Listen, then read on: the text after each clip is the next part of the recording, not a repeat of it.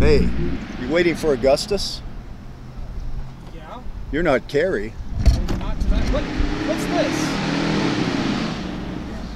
KCPD. You drove Augustus to my house last night. I need you to drive, okay?